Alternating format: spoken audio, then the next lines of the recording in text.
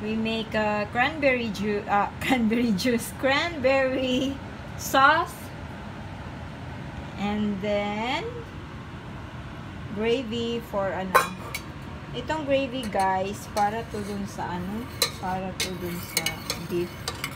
Sumalasyaw yung gravy niya. Ayan. And then, meron kaming puddings.